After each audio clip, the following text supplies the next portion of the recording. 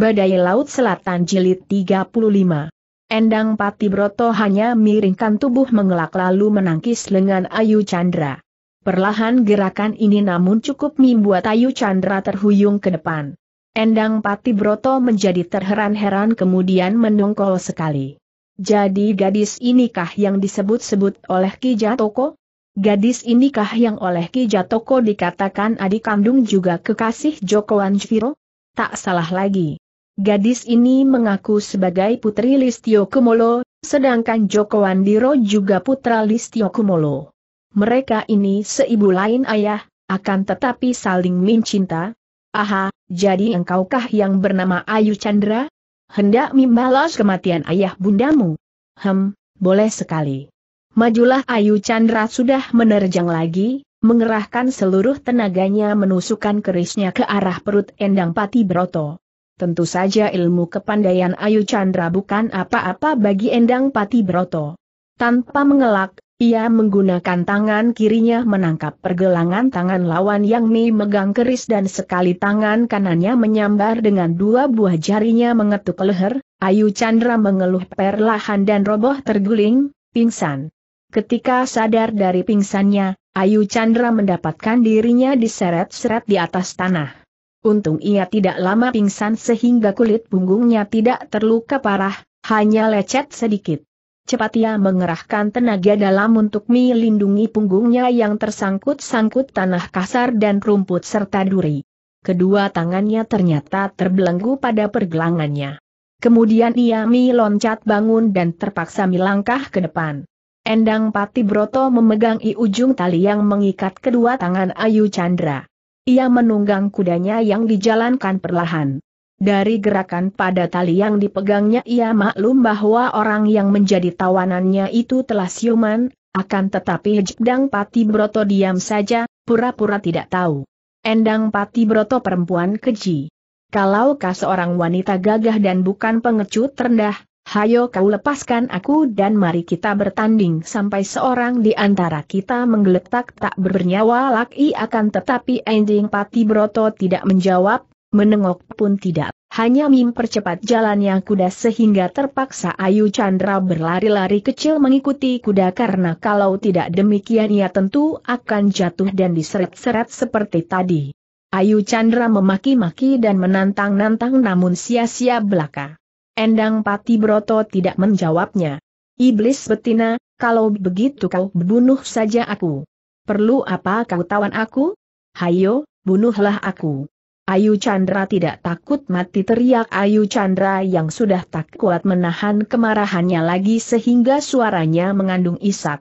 Kini Endang Pati Broto menoleh, tersenyum mengejek. Membunuhmu. Hah, mudah sekali kalau aku mau membunuhmu. Akan tetapi tidak begitu enak saja, Ayu Chandra. Engkau tidak akan kubunuh, melainkan akan kujadikan mangsa orang buntung yang menjijikan itu Ayu Chandra tercengang. Orang buntung? Bukankah Ki Toko yang dimaksudkan wanita iblis itu? Agaknya Endang Pati Broto juga dapat menduga apa yang dipikirkan Ayu Chandra. Ia menahan kudanya dan berkata, suaranya nyaring penuh ejekan, benar dugaan pikiranmu, Ayu Chandra. Orang yang kau anggap manusia baik-baik, Ki Jatoko itu, hai hai hik dia tergila-gila kepadamu dan ingin menjadikan engkau istrinya. Ah, aku seribu kali lebih suka melihat engkau menjadi istri si buntung yang mukanya seperti serigala itu daripada melihat kau mati setelah berkata demikian, kembali Endang Pati Broto menjalankan kudanya agak cepat. Ayu Chandra terguling roboh dan terseret sampai beberapa meter, akan tetapi ia segera meloncat dengan sigapnya dan kembali ia harus berlarian untuk mencegah jangan sampai terseret-seret. Tadi ia terlongong sehingga terseret jatuh. Ia terlalu heran. Ki Jatoko menghendaki aku menjadi istrinya? Ia masih amat heran dan merasa ngeri juga. Akan tetapi berbareng timbul harapannya. Ia masih belum percaya penuh bahwa Ki Jatoko mempunyai niat seperti itu. Siapa tahu kalau orang buntung itu akan menolongnya apabila melihat dia menjadi tawanan Endang Pati Broto. Namun, Betapapun juga, hatinya merasa tidak enak karena ia teringat akan sikap si buntung itu yang terlalu manis kepadanya, bahkan kini terngiang di telinganya ucapan Ki Jatoko pada waktu mereka berada di Bukit Anjas Moro. Ucapan yang dikeluarkan dengan suara minggetar penuh perasaan, sisa hidupku ini ku peruntukkan dirimu seorang. Asal kelak engkau dapat mengasihi seorang buntung seperti aku, ah, rela aku berkorban apa saja untukmu, manis, teringat ini semua bulu tengkuk Ayu Chandra miremang. Jangan-jangan benar ancaman Endang Pati Broto itu. Jangan-jangan si buntung tua bangka itu benar-benar mengandung niat keji terhadap dirinya. Mulailah Ayu Chandra menyesal. Bayangan Joko Wandiromi menui pandang matanya dan beberapa titik air mata menimpa kedua pipinya. Mengapa ia meninggalkan Joko Wandiro? Mengapa ia tidak menggantungkan nasib dirinya dalam perlindungan kakak kandung, bekas kekasihnya itu? Mengapa ia terlalu percaya kepada Ki Jatoko? Kalau saja ia bersama Joko Wandiro, tiada seorang pun akan berani mengganggunya. Sambil berlari-lari cepat mengikuti larinya kuda, Ayu Chandra menangis penuh sesal di hatinya. Ia tidak takut mati, namun ia merasa ngeri mendengar ancaman tadi, ngeri dan takut. Sebagai putri Ki Adibroto yang menggemblengnya sejak kecil dengan watak satria dan pendekar, ia sanggup menghadapi maut dengan mata terbuka. Akan tetapi sebagai seorang wanita, ia merasa ngeri sekali menghadapi ancaman yang lebih hebat daripada maut itu. Diperisteri si buntung yang buruk rupa Ki Jatoko. Dan dalam keadaan bagaimanapun juga, ia maklum bahwa ia bukan lawan Endang Pati Broto maupun Ki Jatoko sehingga milawan pun akan sia-sia. Lebih baik ia bunuh diri. Akan tetapi, bahkan bunuh diri pun takkan mungkin kalau ia berada di dekat dua orang yang sakti ini Nolo Dewe Onol. Di kaki Gunung Bromo sebelah timur, dalam sebuah hutan yang amat angker di mana terdapat sumber mata air sungai Bondoyudo, di situlah tempat pertapaan Bagawan Kundilomuko, yang sekaligus menjadi pusat atau markas para pengikutnya yang jumlahnya mendekati seratus orang. Di dalam hutan itu dibangun pondok-pondok bambu yang banyak jumlahnya, mengelilingi sebuah bangunan kayu yang besar dan megah, yang berdiri di dekat metu air sungai Bondoyudo di mana tumbuh sebatang pohon waringin yang besar sekali.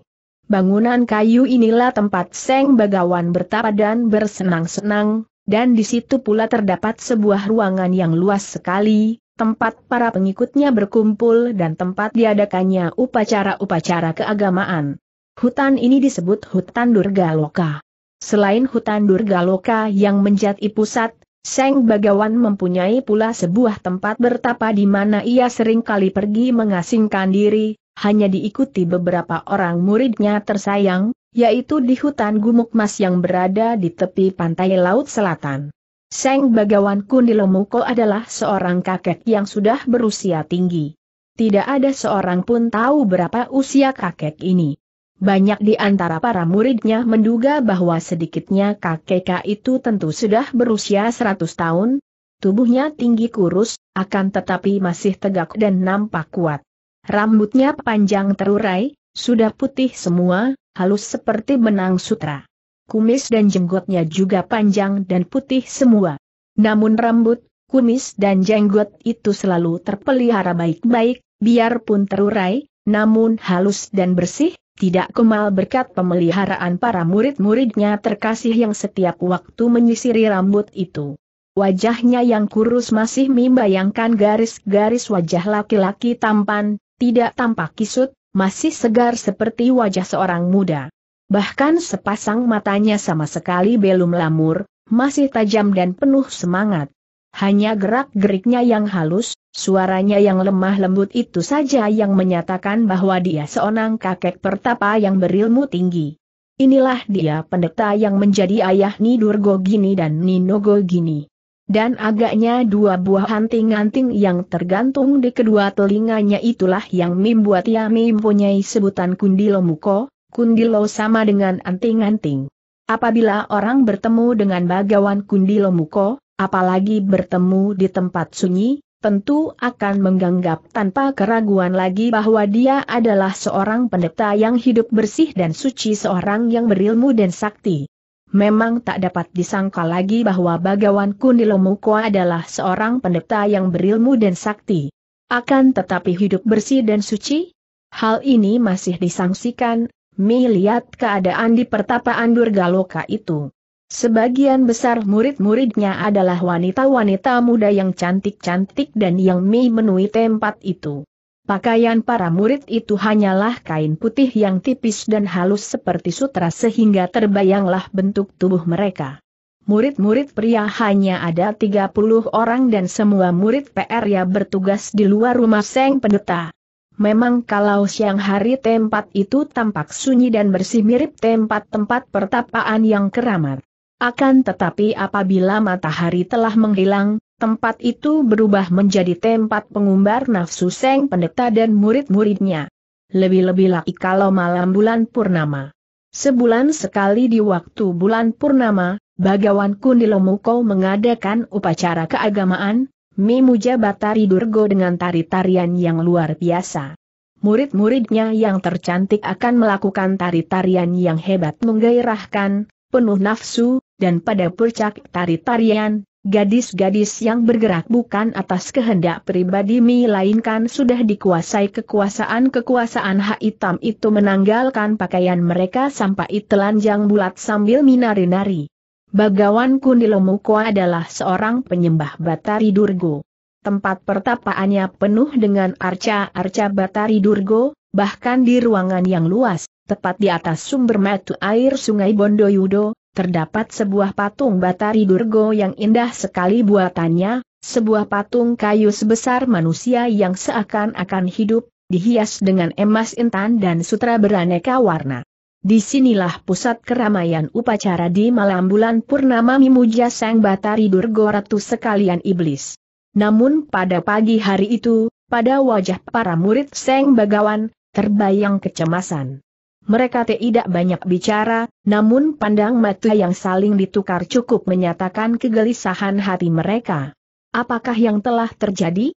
Pagi tadi, pagi-pagi sekali, seorang tamu yang buruk rupa dan buntung kedua kakinya datang mengunjungi Seng Bagawan. Ki Jatoko atau Joko Wanengpati telah datang di tempat itu. Seperti diketahui, di waktu belum cacat dahulu, Joko Wanengpati adalah kekasih Nidurgo Gini dan sudah mengenal pula Bagawan Kundilomuko, bahkan sudah beberapa kali datang mengunjungi tempat ini. Semenjak kakinya buntung, belum pernah ia datang. Mengapa kini ia datang berkunjung? Ki Jatoko memang seorang yang cerdik bukan main. Seperti telah diceritakan di bagian depan, dia mencari-cari Ayu Chandra, akan tetapi bertemu dengan Endang Pati Broto yang dapat pula dibujuknya. Ketika ia tiba di kerajaan Jenggala dan mendengar akan persekutuan yang hendak merobohkan Jenggala, tentu saja ia lalu menanti angin baik dan mencari siasat. Ia maklum bahwa tak mungkin ia seterusnya bersekutu dengan Endang Pati Broto yang memandang rendah kepadanya. Apalagi kalau kelak Putri Kartikosari ini tahu bahwa dia adalah Joko Wanengpati musuh besar ibunya, tentu gadis yang sakti dan ganas melebihi setan itu akan membunuhnya. Maka segera memihak para pemberontak dan diam-diam menanti saat baik untuk masuk persekutuan itu.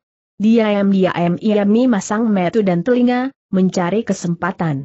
Dapat dibayangkan betapa kaget dan takutnya ketika ia mendengar tentang matinya Nidurgo Gini dan Ninogo Gini di tangan Endang Pati Broto. Tadinya ia sudah kegirangan karena dua orang, wanita itu telah dapat menguasai Seng Prabu. Maka Ki Toko yang cerdik itu lalu cepat-cepat mengunjungi Bagawan Kundilomuko untuk mengabarkan tentang kematian dua orang puterinya itu, sekalian untuk menawarkan tenaganya untuk bersekutu. Setelah Bagawan Kundilomuko mengadakan persekutuan rahasia dengan Adipati Jagal Manik di Nusa Barung, pertapaan Durgaloka dijaga keras oleh anak buah atau murid-muridnya. Oleh karena ini, ketika Ki Toko yang buntung dan buruk rupa itu muncul, para murid yang menjaga menjadi curiga dan hampir saja menyerangnya. Biarpun Ki Jatoko telah memperkenalkan diri sebagai Joko Wanengpati, Namun mereka tidak percaya dan tidak memperkenankan dia memasuki wilayah pertapaan Durga Loka. Untung bagi Ki Jatoko bahwa pada saat itu kebetulan sekali Seng Bagawan keluar dari pondok dan melihat ribut-ribut ini lalu menghampiri. Seng Bagawan adalah seorang yang waspada dan ia mengenal Joko Wanengpati yang kini telah menjadi seorang tapadaksa, buntung dan buruk rupa. Maka cepat ia mempersilahkan si buntung itu masuk dan mengikutinya ke dalam pondok.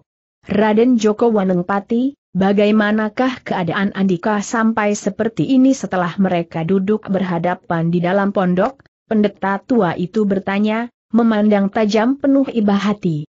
Ki Jatoko mengerutkan alisnya dan menggeleng-geleng kepala sambil menarik napas panjang. Ah ah ah, memang sudah dia hendaki dewata, paman bagawan. Nasib buruk terpedaya musuh sampai menjadi begini. Akan tetapi, biarpun tubuh sudah menjadi begini dan nama saya sudah berubah menjadi Kijatoko, setidaknya saya masih hidup. Yang lebih menyedihkan adalah nasib kedua putri paman, Nidurgo Gini dan Ninogo Gini, mereka telah dibunuh orang Aauurg. Tiba-tiba pendekta tua itu meloncat dari bangkunya sampai tinggi dan suara yang bukan menyerupai suara manusia keluar dari kerongkongannya. Ketika tubuhnya turun, ia berdiri tegak, kedua tangan terkepal, Matt menyinarkan cahaya berapi-api, mulut yang tersembunyi di balik jengger lebat itu mengeluarkan busa. Siapa pembunuhnya bagaimana suaranya? Tersendat-sendat, sukar keluarnya. Ah, ketiwasan, celaka, paman bagawan. Rencana Gusti Adipati di Nusa Barung dan pamen sekalian untuk menyerbu Jenggala telah diketahui. Tadinya kedua putri Paman memang sudah hampir berhasil menguasai Seng Prabu di Jenggala. Akan tetapi, celaka sekali, para pangeran sudah dapat menduga akan rencana pemberontakan sehingga mereka mengutus kepala pengawal, Putri Sakti Endang Pati Broto menyerbu ke Taman Sari Istana dan membunuh mereka. Bahkan Endang Pati Broto telah diberi tugas untuk memimpin pasukan menyerbu ke Nusa Barung, Pamen Babo-Babo, si keparat Endang Pati Broto. Seperti apa macamnya wanita itu, hem, akan ku hancur lumatkan tubuhnya kakek tua renta itu berkerot gigi dan mengepal kedua tangannya. Ah, Paman Bagawan, dia sungguh seorang wanita muda yang sakti mandraguna, sama sekali tak boleh dibuat main-main.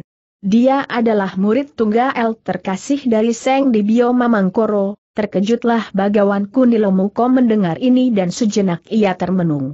Ia pernah bertemu dengan Dibio Mamangkoro dan harus ia akui bahwa ilmu kesaktian Nbio Mamangkoro adayah luar biasa sekali, jauh di atas tingkat ilmunya sendiri. Untuk menghadapi murid raksasa itu, agaknya sukar untuk mencari kemenangan. Ia mengangguk-angguk dan diam-diam ia mengambil keputusan untuk mempergunakan ilmu hitamnya. Hanya dengan ilmu hitamnya, ia akan dapat mengatasi lawan setangguh itu. Hatinya agak cemas ketika ia mendengarkan Ki Jatoko yang mulai menuturkan tentang kesaktian Endang Pati Broto yang kini diangkat senopati oleh Seng Prabu Jenggala untuk memimpin barisan menyerbu Nusa Barung. Kalau begitu kita harus cepat-cepat memberi laporan ke Nusa Barung harus bersiap sedia menyambut datangnya barisan jenggala kakek itu dengan gugup lalu mengumpulkan anak muridnya dengan isyarat tepukan tangan. Berserabutanlah wanita muda dan cantik datang ke ruangan itu sehingga Kijat Toko yang terkenal matu keranjang sibuk menggunakan matanya berpesta porami mandangi wajah yang cantik-cantik dan tubuh yang muda dan montok menarik. Kakek pendeta itu membagi-bagi tugas. Ada yang disuruh mengabarkan ke Nusa Barung, ada yang disuruh mengatur penjagaan ketat di sekitar daerah pertapaan Durgaloka, dan lain-lain persiapan. Bahkan ada yang disuruh mencari keterangan tentang pasukan musuh yang sedang mendatangi. Seketika keadaan di pertapaan Durgaloka menjadi gelisah dan semua anak murid bersiap-siap. Melihat kegugupan kakek pendeta, Ki Jatoko diam saja, kemudian setelah Seng Pendeta selesai membagi-bagi tugas, ia lalu berkata, harap paman tenang. Saya sudah mempunyai rencana bagus dan jika paman bagawan menyetujui rencana dan siasat saya, tanggung sekali pukul kita akan dapat memetik dua keuntungan, Bagawan Kunilomuko yang merasa berduka atas kematian kedua orang anaknya dan juga gelisah mendengar akan kegagalan siasat pemberontakan mereka, cepat menaruh perhatian dan segera menarik tangan Ki Jatoko diajak berunding di kamar dalam. Ia memberi isyarat kepada lima orang wanita cantik yang menjadi murid-murid terkasih untuk meninggalkan kamar itu, kemudian menghadapi Ki Jatoko. Sekarang jelaskanlah apa rencanamu itu, Raden Joko harap paman selanjutnya menyebut saya Jatoko saja, karena nama lama itu sudah saya kubur bersama, dua buah kaki saya, HMM, baiklah, anak mas Jatoko. Katakanlah bagaimana rencanamu itu dan percayalah, kelak aku yang akan menyampaikan jasa-jasamu kepada Adipati di Nusa Barung apabila rencanamu berhasil, begini, Paman Bagawan. Siasat saya ini untuk menghadapi tiga persoalan. Pertama untuk menanggulangi tentara Jenggala yang dipimpin Endang Pati Broto menyerbu ke Nusa Barung. Kedua untuk melanjutkan rencana penyerangan kita ke Jenggala dan ketiga untuk menghadapi Endang Pati Broto yang sakti mandraguna, girang hati kakek pendeta Bagawan Kundilomuko mendengar ini. Ia segera mendesak si buntung itu menjelaskan siasatnya. Dengan suara berbisik-bisik Ki Jatoko yang sudah kehilangan kedua kaki namun tidak kehilangan muslihat dan kecerdikannya, menjelaskan siasatnya. Kakek pendeta itu mengangguk-angguk dan dengan wajah girang sekali ia menepuk-nepuk pundak Ki Jatoko. Bagus. Bagus sekali, anak mas Jatoko. Hahaha, bagus sekali. Ah, sayang mengapa baru sekarang kau muncul. Kalau dulu-dulu kau datang membantu, kita tidak akan mengalami malapetaka seperti sekarang ini. Bagawan Kundilomuko lalu memanggil Pusponila, seorang di antara muridnya yang terkasih dan terpercaya. Gadis berusia 20 tahun lebih ini cantik manis dan cekatan, berkulit hitam manis dan bermata tajam. Ia datang berlutut dan menyembah guru dan junjungannya. Pusponila ini yang mendapat tugas untuk secepat mungkin pergi menghadap Seng Adipati Jagal Manik di Nusa Barung untuk menyampaikan siasat yang diajukan Ki Jatoko, mempersiapkan dua pasukan. Pasukan kecil untuk membantu pertapaan Durgaloka menyambut pasukan Jenggala, adapun pasukan besar untuk menyerang Jenggala. Belum lama Pusponila berangkat, datanglah tiga orang murid laki-laki berlari-lari dengan muka pucat. Mereka datang menunggang kuda dan tak pernah berhenti siang malam sehingga kuda mereka roboh mati di jalan, lalu mereka terus melanjutkan perjalanan dengan berlari-lari cepat. Mereka adalah sebagian dari anak murid yang bertugas di luar dan sudah lama mereka bertugas mimet cimatai gerak-gerik kerajaan Jenggala. Dengan napas tersengal-sengal mereka menyampaikan berita tentang kematian Cekel Aksomolo, Ki Warok Gendroyono dan Ki Krendoyakso di tengah jalan, tewas di tangan Endang Pati Broto. Seketika pucat wajah Bagawan Kundilomuko dan Ki Jatoko. Sejenak mereka saling pandang dan merasa ngeri. Betapa saktinya gadis itu yang sekaligus seorang diri telah berhasil menewaskan tiga orang tokoh jagoan seperti orang-orang sakti itu dan sekaligus rusaklah siasat dan rencana ketiga yang dikemukakan Titiki Jatoko tadi, yaitu siasat hendak mencegat dan mengeroyok Endang Pati Broto mengandalkan bantuan tiga orang yang sekarang sudah mati itu. Lalu bagaimana? Di mana sekarang gadis iblis itu Bagawan Kundilomuko bertanya kepada tiga orang muridnya yang masih terengah-engah. Ataukah barangkali kalian sudah begitu ketakutan sehingga tidak berani menyelidiki pula? Kalimat terakhir terdengar bengis. Ampunkah hamba, Bapak Bagawan yang mulia? Tidak sekali-kali hamba bertiga melalaikan kewajiban. Hamba bertiga dengan susah payah mencari jejak senopati wanita itu yang meninggalkan pasukannya. Ia menuju ke selatan dan di tengah jalan ketika hamba bertiga dapat menyusulnya, dia telah menyeret-nyeret seorang putri cantik. Hamba bertiga lalu cepat-cepat pulang untuk melaporkan semua itu kepada Bapak Guru, dengan alis putih berkerut pendeta itu lalu memberi isyarat menyuruh murid-muridnya pergi, kemudian ia berpaling kepada Ki Jatoko. Ia melihat si buntung itu termenung-menung dengan mata, terbelalak dan mulut ternganga. Bagaimana baiknya sekarang, anak Mas Jatoko Ki Jatoko tampak terkejut. Ketika mendengar penuturan murid-murid pendeta itu tentang diseret-seretnya seorang gadis cantik oleh Hendang Patibroto, seketika ia teringat kepada Ayu Chandra. Siapa lagi kalau bukan Ayu Chandra yang tertawan oleh Hendang Patibroto? Tentu Ayu Chandra sudah mendengar pula percakapan di dalam hutan antara Joko Wandiro dan Endang Patibroto, dan mengetahui bahwa musuh yang membunuh ayah bundanya adalah Hendang Patibroto. Mendengar pula bahwa Kartiko Sari tinggal di Pulau Sempu dan mungkin dia ingin membalas dendamnya ke pulau itu. Maka terkejutlah ia ketika ditegur oleh Sarik Bagawan Kundilomuko. Eh haha, El jangan khawatir, Paman Bagawan. Bahkan kebetulan sekali kalau Endang Pati Broto masih mendahului pasukannya.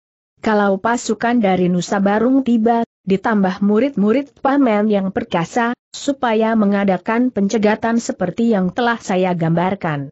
Adapun tentang Endang Patibroto, karena sekarang tak mungkin kita menggunakan kekerasan menghadapinya setelah tiga orang paman yang kita harapkan bantuannya itu tewas semua, biarlah saya seorang diri menghadapinya. Percayalah, Paman Bagawan, jelek-jelek Ki Jatoko sanggup mi mancingnya masuk ke pertapaan Durgaloka dan dengan akal dan kesaktian Paman Bagawan, saya harap gadis perkasa itu dapat ditundukkan, ah ah, bagus sekali, anak Mas Jatoko. Asai kau dapat mancingnya seorang diri mi masuki tempat ini, aku punya akal untuk menaklukkan iblis itu. Hem, pasti dapat ku hancur leburkan si keparat yang telah membunuh dua orang anakku eh, Paman Bagawan. Saya kira Paman akan berpendapat lain kalau dia sudah masuk ke sini dan dapat ditundukkan, mengapa? Bagaimana? Ki Jatoko tersenyum menyeringai. Paman saksikan sendiri sajalah nanti. Sekarang saya memohon doa restu pamen agar saya berhaul dimancingnya masuk ke sini, segera disediakan seekor kuda yang amat baik untuk Ki Jatoko dan biarpun ia sudah buntung kedua kakinya, tubuhnya masih cekatan sekali ketika meloncat naik ke peunggung kuda. Ia sudah mendengarkan lagi penjelasan-penjelasan tiga orang anak murid Bagawan Kundilomuko tadi dan mendengar gambaran mereka tentang puteri jelita yang ditawan Endang Patibroto, ia tidak ragu-ragu lagi bahwa tentulah Ayu Chandra puteri itu. Ia menanyakan di mana mereka melihat wanita perkasa itu, Kemudian Mimba iapkan kudanya meninggalkan pertapaan Durgaloka untuk mimapaki perjalanan Endang Pati Broto dan Ayu Chandra yang menjadi tawanannya. Adapun Bagawan Kundilomuko juga sudah bersiap-siap mengatur semua siasat yang dijalankan Ki Jatoko. Ketika pasukan Nusa Barung tiba, ia mengerahkan anak buah atau anak muridnya, sesuai dengan siasat dan petunjuk Ki Jatoko, untuk ikut bersama pasukan ini mengadang barisan jenggala yang hendak melakukan penyerbuan ke Nusa Barung 020 Endang Pati Broto. Bagus, ternyata engkau memenuhi janjimu, sungguh gagah perkasa teriak Ki Jatoko ketika bertemu dengan gadis sakti itu di tengah jalan. Ia menyembunyikan ketegangan hatinya ketika melihat Ayu Chandra yang wajahnya pucat, rambutnya awut-awutan dan pakaiannya robek-robek, kedua tangannya terbelenggu dan terhuyung-huyung di belakang kuda. Endang Patibroto, kau lepaskan Ayu Chandra dan jangan menyiksanya seperti itu. Ingat, aku menghendaki dia hidup-hidup, Endang Patibroto menahan kudanya, memandang tajam dengan wajah tersenyum mengejek. Kijatoko, perempuan ini musuhku. Mau kubunuh atau tidak adalah urusanku sendiri. Karena teringat akan janjimu maka aku masih belum membunuhnya. Tentu saja aku memenuhi janji asal engkau juga membuktikan janjimu dahulu.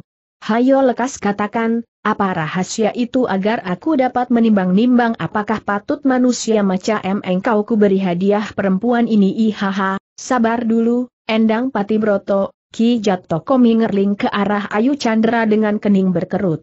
Ucapan Endang Patibroto tadi menyulitkan kedudukannya.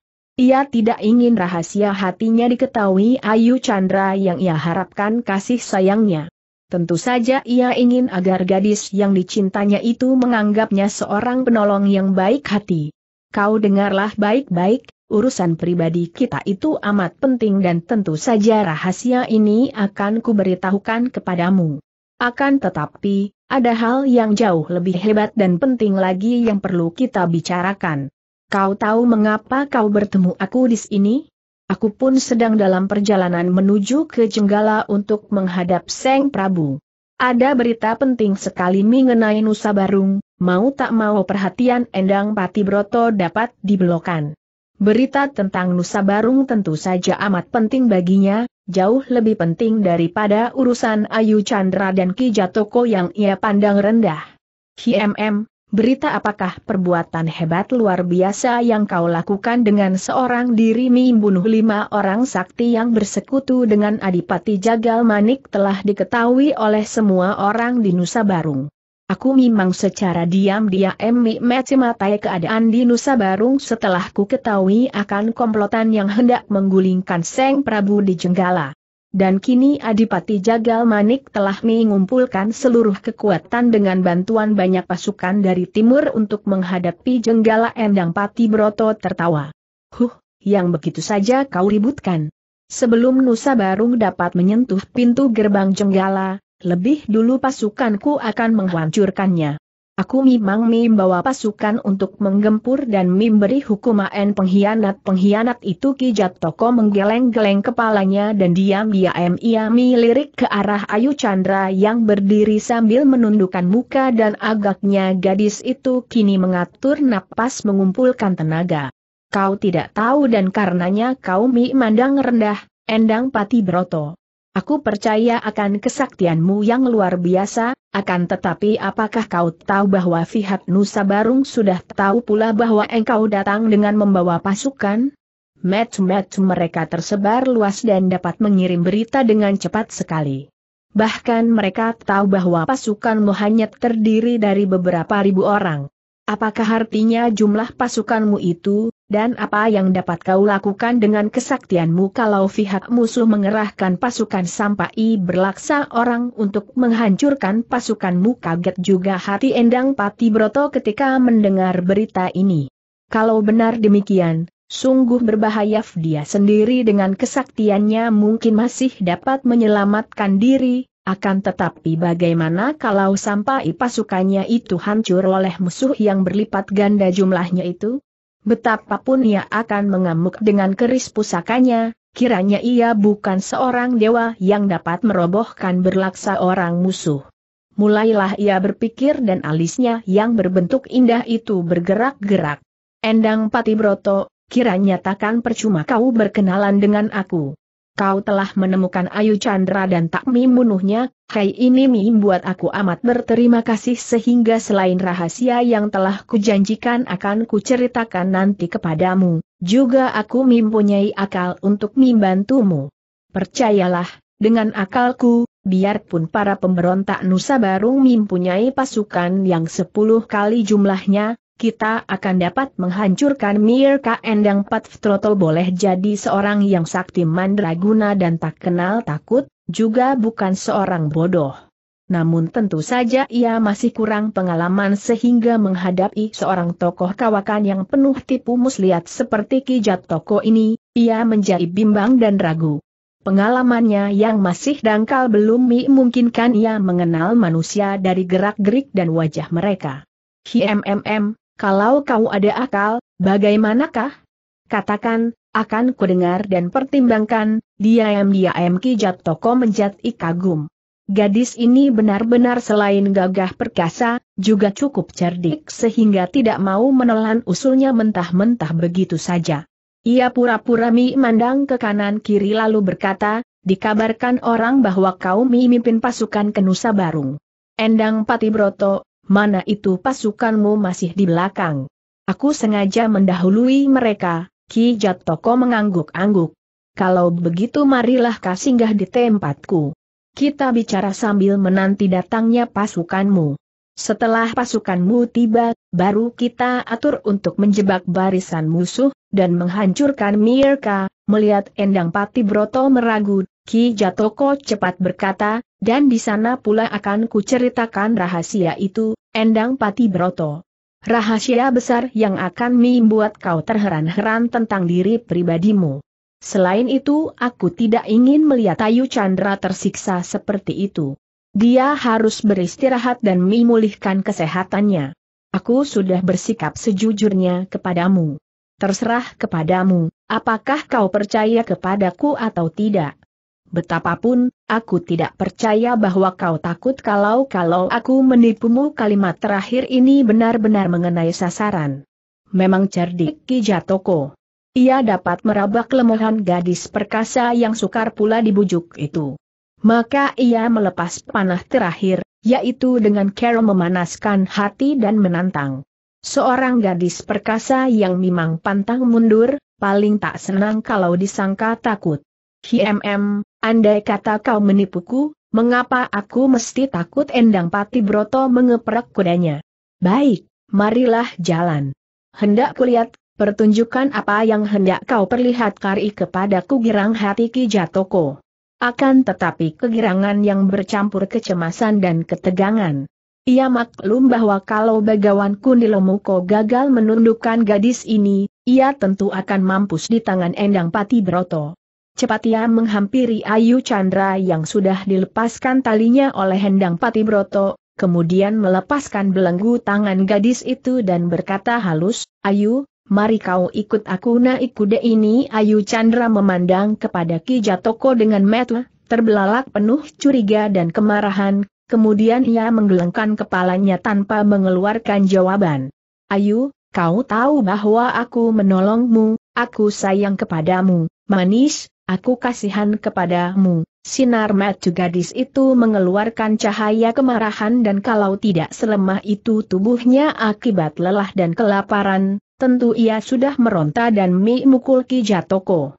Ucapan kakek buntung ini sekarang baginya mempunyai arti lacen setelah ia mendengar dari Endang Pati Broto bahwa kakek buntung ini tergila-gila kepadanya dan hendak memperistrinya karena melihat Endang Pati Broto sudah tak sabar menanti, Ki Jatoko lalu menyambar pinggang Ayu Chandra dan meloncat naik ke punggung kuda.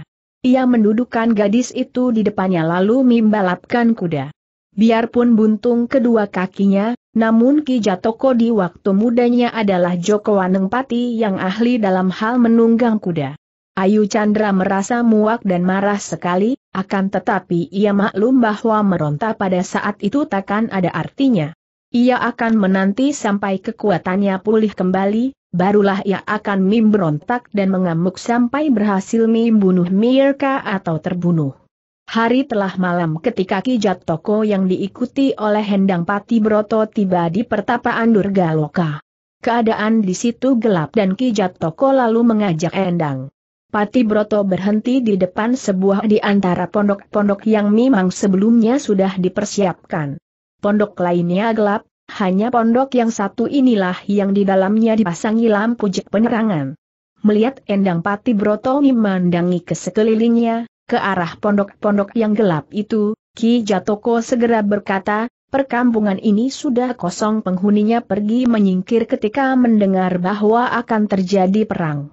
Hanya pondok tempat tinggalku ini yang masih ditinggali orang, yaitu murid-murid, juga pelayan-pelayanku, pintu pondok terbuka dari dalam dan di bawah sinar lampu yang menyorot dari dalam, Endang Pati Broto melihat lima orang gadis cantik bergegas keluar menyambut. Hati Endang Pati Broto terheran-heran ketika ia melompat turun dari kudanya. Lima orang gadis cantik inikah murid-murid Ki Jatoko? Gerakan mereka memang tangkas ketika mereka menyambut kuda dan sikap mereka amat hormat kepada si buntung. Ah, kiranya si buntung ini bukan sembarang orang, pikirnya.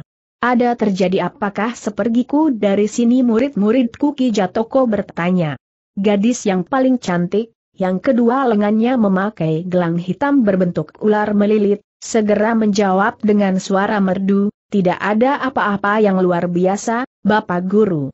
Kami yang merasa heran mengapa Bapak sudah kembali? Apakah secepat itu Bapak sudah tiba di Jenggalaki Jatoko tertawa? Kau tahu apa? Lekas sediakan makan minum untuk dua orang nona yang menjadi tamu agung kita gadis-gadis itu tersenyum dan menyelinap pergi keluar dari dalam pondok. Sambil menggandeng tangan Ayu Chandra, Ki Jatoko mempersilahkan Endang Pati Broto memasuki pondok. Endang Pati Broto menaruh curiga. Betapapun juga, ia tidak dapat mempercaya begitu saja seorang macam Ki Jatoko ini. Akan tetapi, karena ia memandang rendah kepandaian Ki Jatoko, ia tidak menjadi gentar, bahkan tersenyum mengejek. Hendak kulihat, apa yang dapat ia lakukan terhadap diriku, demikian pikirnya. Pondok itu ternyata cukup lebar dan bersih dan di situ terdapat dua buah bilik besar dan di ruangan tengah terdapat meja kursi. Hari sudah jauh malam, kulihat engkau dan terutama Ayu Chandra ini perlu beristirahat. Harap kau tidak menolak hidangan kami yang sederhana, kata Ki Jatoko. Endang Pati Broto hendak membantah. Ia ingin menuntut agar rahasia yang dijanjikan itu diberitahukan kepadanya sekarang juga.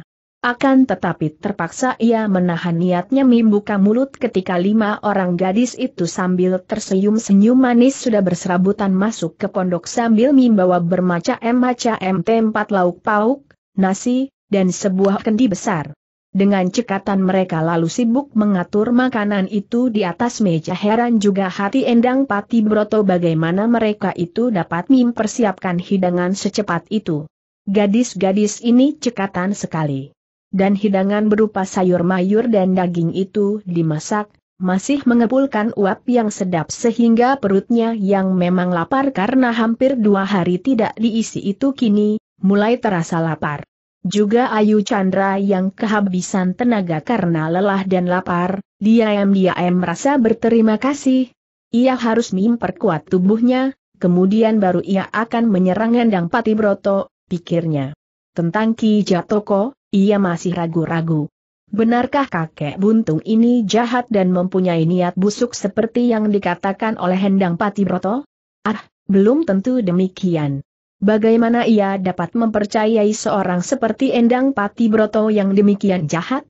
Akan tetapi, kalau memang Ki Jatoko seorang baik-baik yang hendak menolongnya, mengapa pula si buntung ini begitu baik hubungannya dengan Endang Patibroto? Dan rahasia besar apakah gerangan yang akan mereka bicarakan?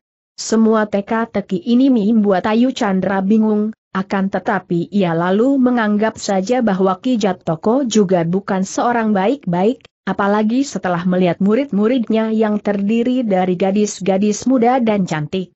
Makin curigalah ia terhadap si buntung. Betapapun lapar perutnya, Endang Pati Broto bukan seorang yang ceroboh. Biarpun Ki Jatoko sudah mempersilakankannya, namun ia hanya duduk diam dan memandang semua makanan di atas meja, tanpa menyentuhnya. Melihat ini, Ki Jatoko tertawa. Hahaha, Endang Pati Broto. Agaknya engkau menaruh curiga kepada hidangan yang kusuguhkan kepadamu. Kau khawatir kalau-kalau kucampuri racun Endang Pati Broto mencibirkan bibirnya yang merah. Ki Jatoko, Aku tidak tahu siapa sebenarnya engkau ini dan orang macam apa sesungguhnya engkau ini, maka bagaimana mungkin aku dapat percaya begitu saja bersihnya hidangan yang kasuguhkan kepadaku mendengar ini, Ayu Chandra terkejut dan kagum. Biarpun Endang Pati Broto seorang iblis betina yang kejam dan ganas, harus diakui bahwa semudah itu sudah memiliki kecerdikan dan kewaspadaan. Ia teringat akan kakak kandungnya, Joko Wandiro. Alangkah sepadan dua orang muda itu, Endang Pati Broto dan Joko Wandiro. Keduanya sama muda, sama elok, sama sakatei dan dalam banyak hal, mereka mempunyai banyak persamaan yang mengagumkan.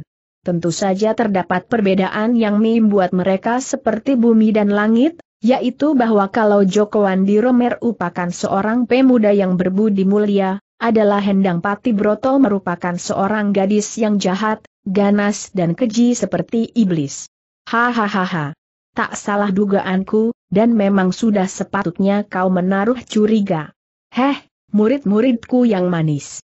Kalian yang meracik, membuat, semua hidangan ini, hayo lekas kalian cicipi semua hidangan di depan nona tamu kita yang terhormat.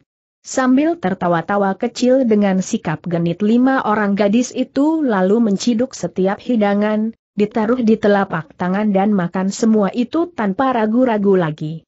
Hahaha, biarlah air minumnya aku sendiri yang mencicipi kata Ki Jatoko sambil menuangkan air kendi ke dalam tempat minumnya, lalu Mi minum air ini dengan enak.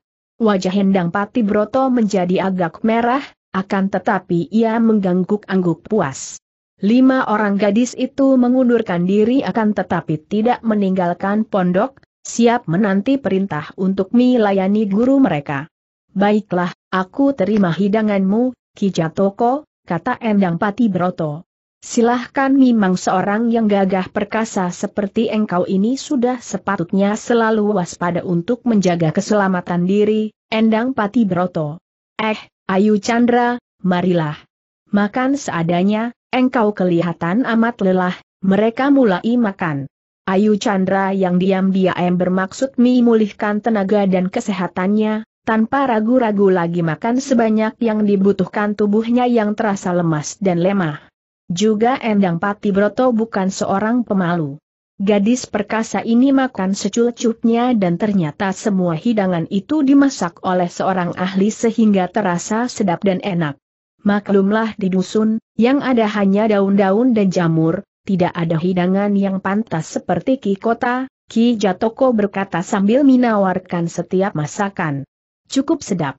Murid-muridmu pandai masak, Ki Jatoko. Belum pernah aku menikmati masakan jamur seperti ini. Tiada ubahnya daging ayam yang gemuk, endang pati broto mimuji. Setelah makan kenyang dan minum air kendi, Ayu Chandra kelihatan lemas sekali dan akhirnya gadis ini menumpangkan kepalanya di atas lengan dan ternyata sudah tertidur di atas meja. Endang Pati Broto memandang tajam, kecurigaannya timbul kembali.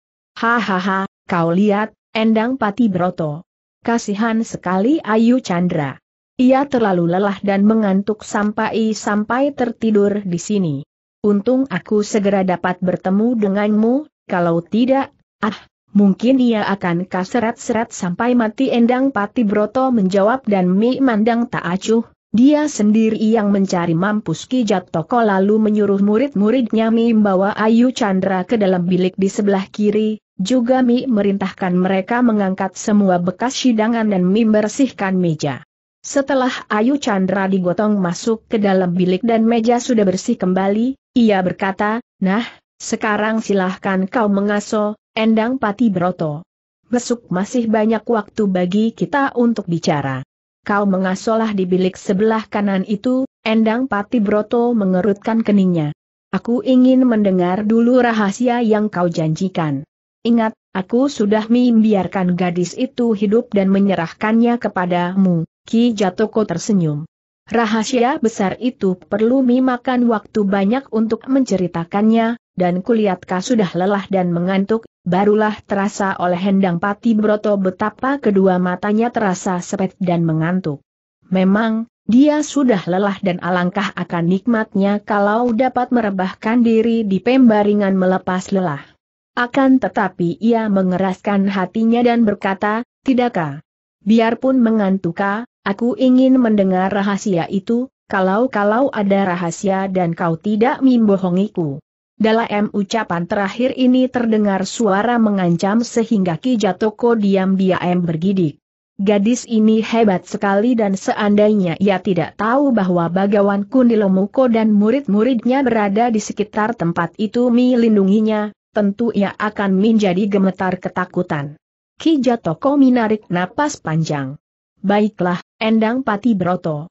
Akan tetapi ku harap engkau tidak akan menjadi kaget dan marah kalau mendengar aku membuka rahasia besar yang meliputi dirimu. Berjanjilah dulu bahwa kau tidak akan marah dan bahwa aku sama sekali tidak menceritakan fitnah dan penghinaan, HMM, kita lihat saja. Kalau Mima NG ceritamu berdasar kenyataan, tentu saja aku tidak begitu gila untuk marah-marah kepadamu. Nah, kau bersiaplah untuk mendengarkan, Endang Patibroto, Ki Jatoko menoleh ke arah pintu depan pondok. Murid-muridnya sudah keluar dari pondok dan keadaan sunyi sekali. Bahkan bunyi pernapasan yang amat halus dari dalam bilik sebelah kiri, terdengar oleh telinga mereka yang terlatih. Ayu Chandra sudah tidur pulas. Endang Patibroto, sesungguhnya engkau bukan puteri dari Pujo. Dia itu sama sekali bukan ayah kandungmu Endang Pagi Tapto menegakkan tubuhnya di atas bangku yang ia duduki. Sepasang mata yang tadinya sudah mengantuk itu tiba-tiba menjadi terang sinarnya, Mi mandang kepada wajah Ki Jatoko yang buruk penuh selidik, amat tajam menusuk. Wajah yang cantik sekali itu menegang dan menjadi agak pucat. Apa alasannya engkau berani mengatakan begitu pertanyaan ini terdengar jelas satu-satu, dan diucapkan tenang sekali, terlalu tenang sehingga menegangkan. Ki Jatoko merasa bahwa kalau dia tidak hati-hati, sekali gadis perkasa itu turun tangan, ia takkan dapat bercerita lagi selamanya. Alasannya jelas, yaitu karena aku tahu siapa ayahmu yang sebenarnya Ki Jatoko, kalau kau bohong aku akan, Endang Pati Broto marah sekali sehingga cepat-cepat Ki Jatoko mengangkat tangannya motong, tidakkah, Endang Pati Broto? Aku. Sama. Sekali. Tidak. Mim bohong. Sudah jelas bahwa suami ibuku Kartikosari adalah Pujo. Bagaimana kau berani bilang bahwa Pujo bukan ayahku inilah yang disebut rahasia besar itu? Dengarlah baik-baik, aku akan menceritakan peristiwa 20 tahun yang lalu. Pernahkah ibumu menyebut nama Joko Waneng Pati Endang Pati Broto terkejut dan mengangguk? Dia musuh besar ibuku yang sudah dibunuh oleh ibu sendiri Ki Jatoko tersenyum dan mengangguk-angguk. Tentu ibumu tidak pernah menceritakan kepadamu apa sebab permusuhan itu, bukan suara Ki Jatoko makin perlahan dan sudah beberapa kali si buntung ini menutupkan telapak tangan di depan mulut untuk menguap. Endang Pati Broto menggeleng kepala. Ia sudah tertarik sekali. Memang benar, ibunya belum pernah mengatakan mengapa ibunya demikian membenci Joko Wanengpati. Melihat Ki Jatoko beberapa kali menguap, gadis ini pun tiba-tiba sadar bahwa rasa kantuk yang berat juga menyerangnya. Namun dengan pengerahan tenugu, ia dapat mempertahankannya. HMM, tentu saja ia tidak dapat menceritakan rahasia besar itu.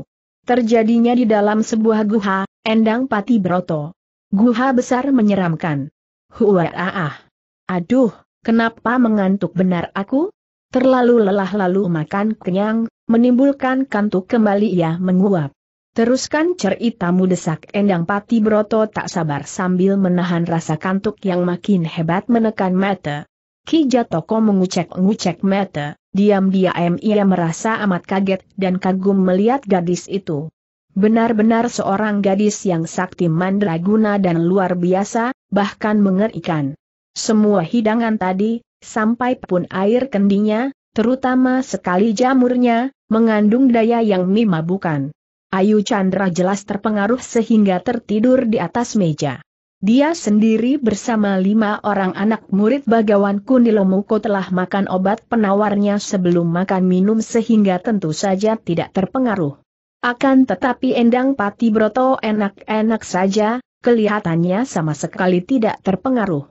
Dan sekarang, ia tahu dari tempat yang tidak jauh, diam-diam Seng Bagawan Kundilomuko terah memasang aji penyerpan yang luar biasa kuatnya.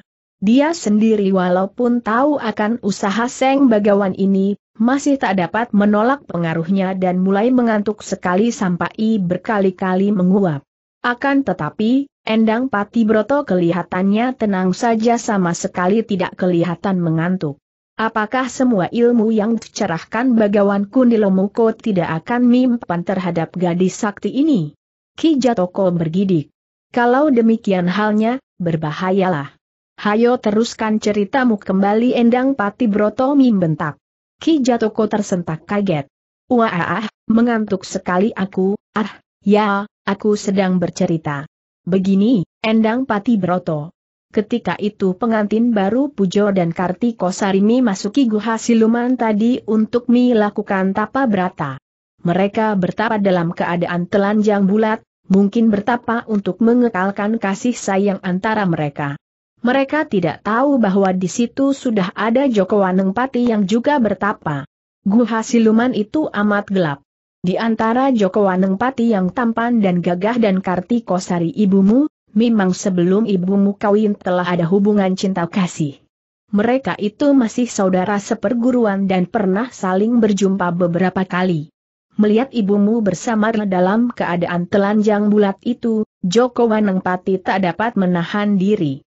Cinta kasihnya menggelora dan diam-diam ia mendekati ibumu.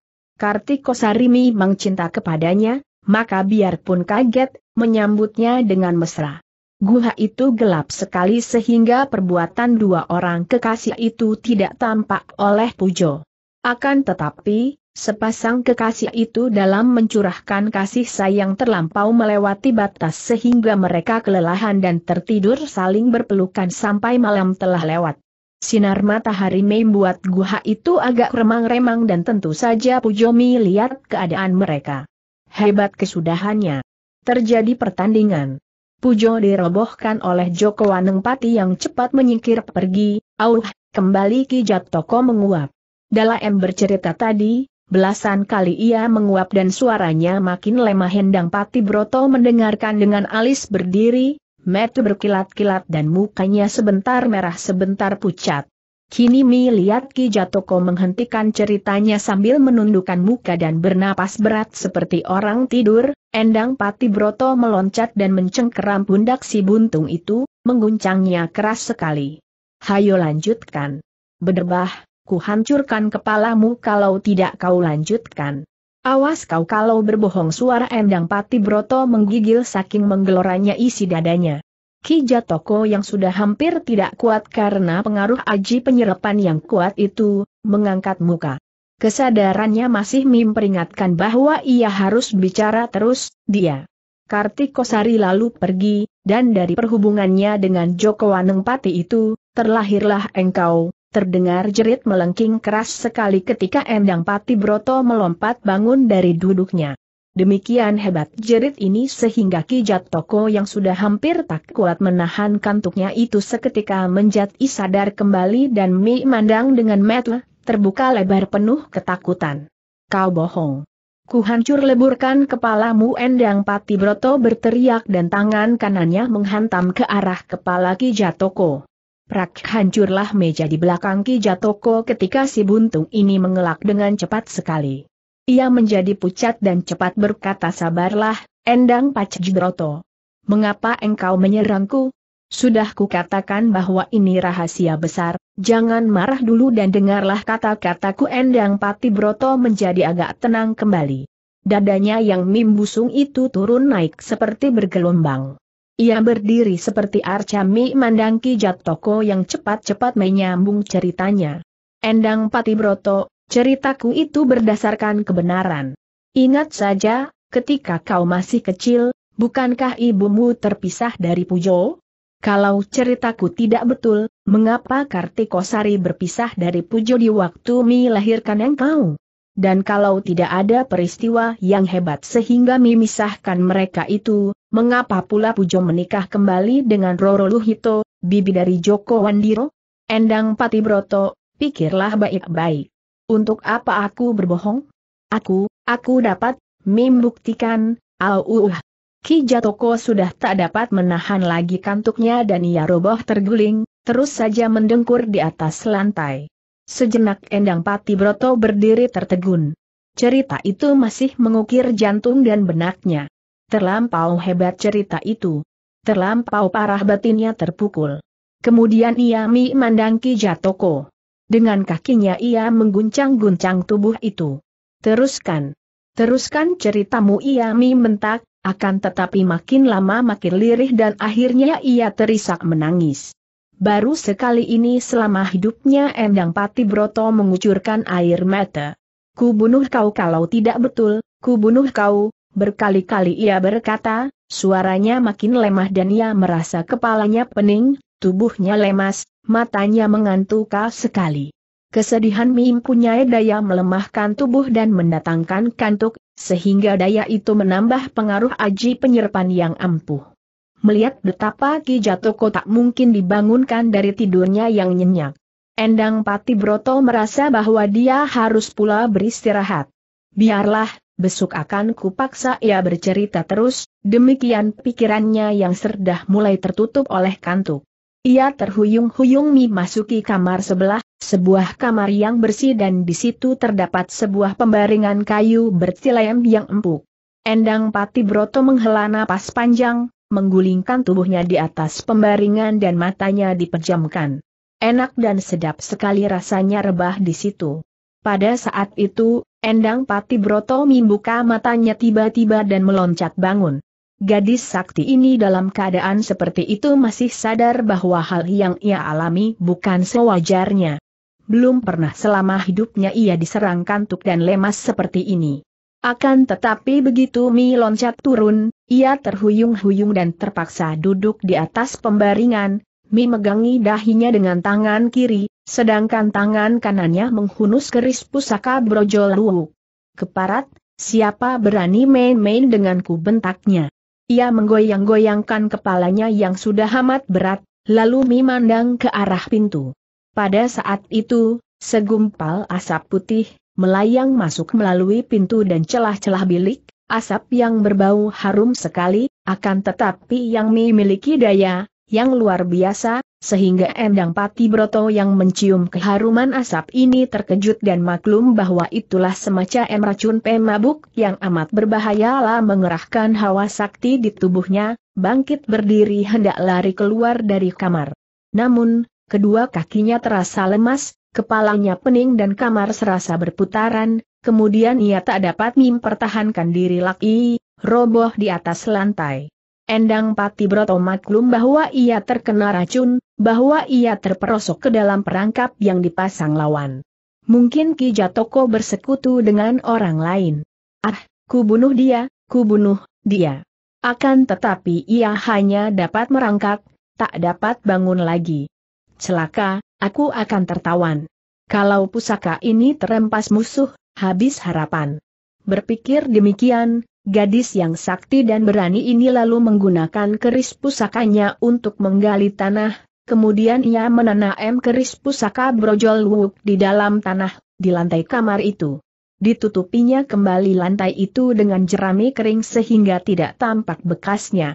Namun ia telah terlampau lama bertahan, terlampau banyak mengerahkan tenaga sakti sehingga setelah ia selesai menanam keris pusaka, Begitu ia bernapas panjang dengan lapang, tubuhnya roboh miring di atas lantai dan tertidurlah Endang Patibroto, tidur yang tidak sewajarnya, tidur seperti orang pingsan. Pasukan Jenggala yang dipimpin oleh Endang Patibroto, yang jumlahnya 3.000 orang, berhenti di dalam hutan di mana mengalir sungai yang jernih itu. Para perwira yang tahu akan kelelahan pasukan, segera memberi komando supaya beristirahat, Apalagi ketika melihat bagian depan pasukan menjadi kacau dengan teriakan-teriakan dan tertawaan, seakan-akan ada sesuatu yang menggembirakan mereka. Ketika lima orang perwira itu menghampiri dengan menunggang kuda, mereka tersenyum lebar dan juga terheran-heran kiranya yang membuat anak buah mereka tadi bersorak-sorak adalah sekumpulan gadis cantik-cantik yang sedang mandi di sungai itu. Mereka terheran karena gadis-gadis itu benar-benar cantik jelita, tidak seperti kebanyakan gadis di dusun. Selain cantik, juga tubuh yang telanjang bulat itu berkulit kuning dan berbentuk indah. Lebih hebat lagi, ketika melihat pasukan yang besar jumlahnya ini, gadis-gadis itu tertawa-tawa genit, kemudian bangkit berdiri dan berlari-lari kecil dalam keadaan telanjang. Jumlah mereka banyak, tidak kurang dari 30 orang. Tentu saja para prajurit jenggala yang sebagian besar adalah orang-orang yang sudah biasa mengganggu wanita-wanita cantik, setelah diberi waktu beristirahat, kini segera melakukan pengejaran sambil bersorak-sorak. Tangkap yang paling cantik untuk perwira-perwira terdengar teriakan di sana-sini dan ributlah keadaan di dalam hutan itu. Gadis-gadis itu berpencaran ke sana-sini sehingga ramai pula mereka yang melakukan pengejaran.